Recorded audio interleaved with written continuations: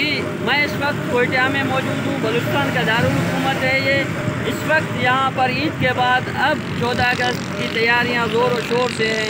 पूरे बलूचिस्तान की तरह कोयटा में भी इस वक्त चौदह अगस्त की तैयारियाँ ज़ोर और शोर से जारी हैं। जैसा कि बच्चा, बूढ़ा और जवान सब पाकिस्तानी परचम ख़रीदने में मसरूफ़ हैं और कश्मीर की आज़ादी के साथ, इस दुआ के साथ इन चौदह अगस्त भरपूर तरीके से मनाने के लिए पूरी कौम अज़म के साथ इस वक्त तैयारी कर रही है जी